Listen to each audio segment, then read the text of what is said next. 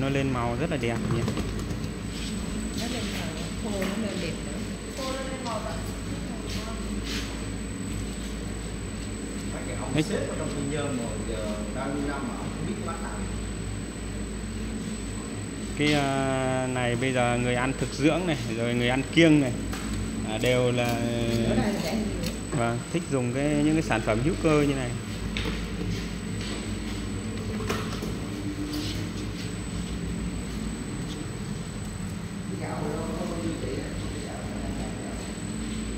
cái này kéo nhẹ thôi, không kéo mạnh quá lại đứt.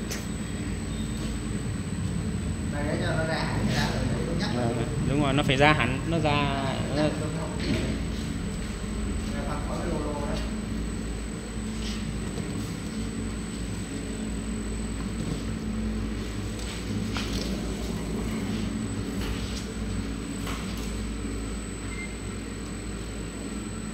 xưa năm tiên là vô là để cái chân cao lên hồi đó là cái thùng cái hành đây là dưới.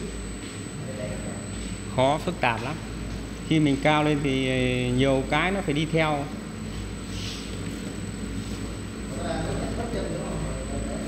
Đúng rồi cái đấy hôm qua mới cắt bớt chân đấy. Cắt đi ờ, uh, 9 phân.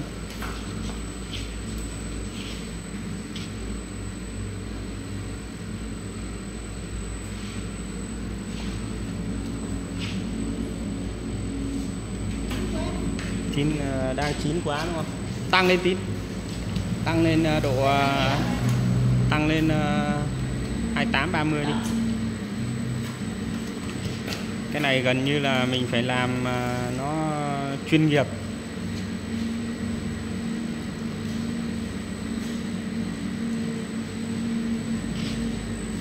Nó chín quá thì có ảnh hưởng đến cái sợi mì về sau này không?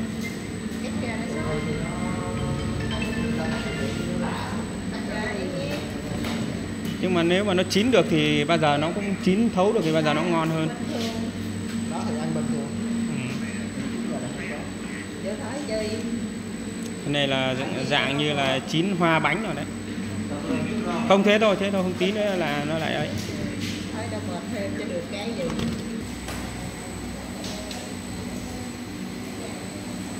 Bữa lại bánh đa vậy hơn với chặt hơn thì nó mất hết luôn anh chị không nó cũng tùy theo tốc độ nữa bánh đa thì nó lại không vào nhiều bột như này.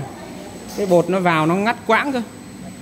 À, nó cách cách cách nha cơ. Mà nó nhỏ thôi chứ cái này của nó cái lượng bột vào là cũng tương đối lớn ấy.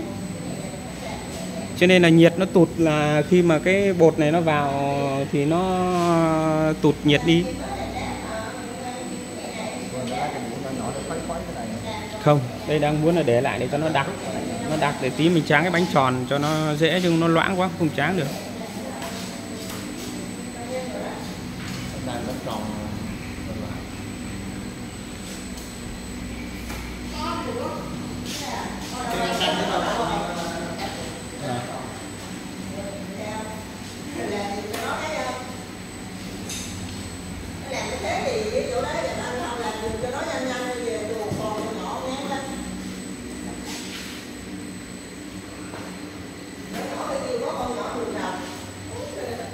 đây là bộ ờ, bơm máy bồn này. Đây là máy à, vo gạo nhé